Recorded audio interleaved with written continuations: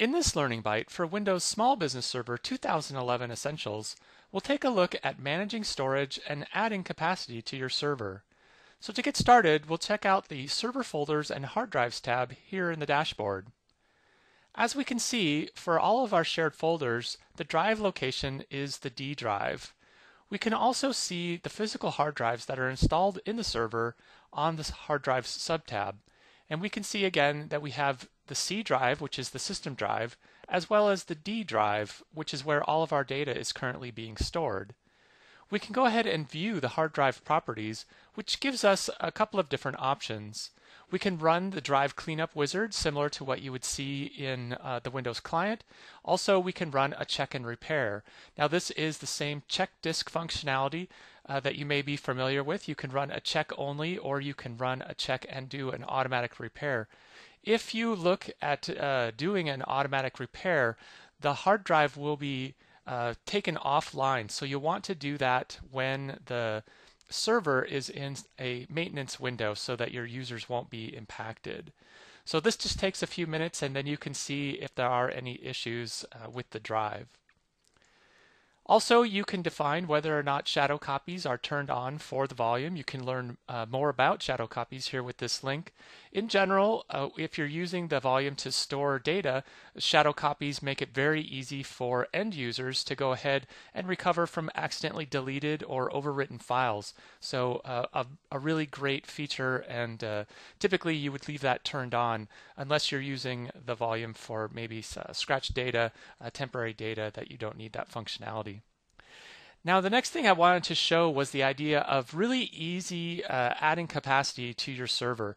When you add a new physical drive, whether you simply connect a, a new drive to a USB port, FireWire port, or whether you're installing a new drive internally, um, you'll get an alert in the dashboard that says that you have some new uh, hard drive space that you can take advantage of. Now, in order to do that, the SBS server is going to need to format that hard drive and give it a drive letter. So you can quickly and easily do that right from the alert.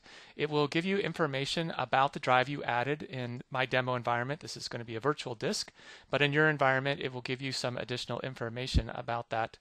Then it will go ahead and format the drive uh, all very easy to do uh, and, and straight from the dashboard console. So really providing a streamlined, simplified uh, administration experience.